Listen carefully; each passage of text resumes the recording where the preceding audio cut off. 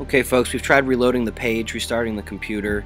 Uh, right now, rest of you guys are just censored from us, uh, so sorry if we miss any of your videos. Hopefully this will change today. Uh, we had a pretty bad power outage in Oahu. A couple thousand people lost power. This was due to an electrical issue causing a generator to trip. We had a nuclear event in Minnesota last night, but they say this is a chlorine bleach leak and there's no radioactive, uh, no radioactive um, worries. The Caribbean and Cocos Plate region woke up seismically the last 48 hours, and another volcano is on watch in Chile.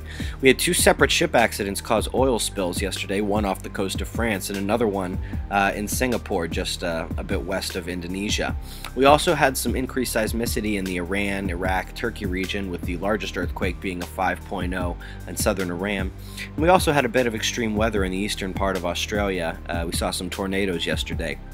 Folks, we'll put this link below.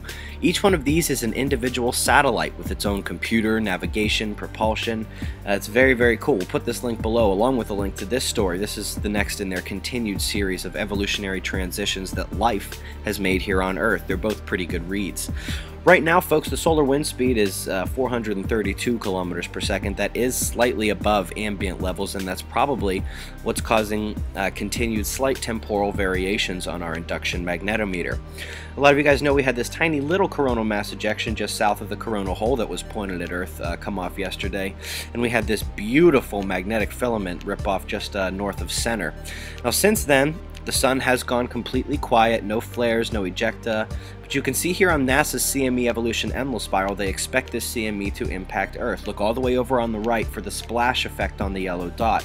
That's Earth, and that would be the CME hitting right there.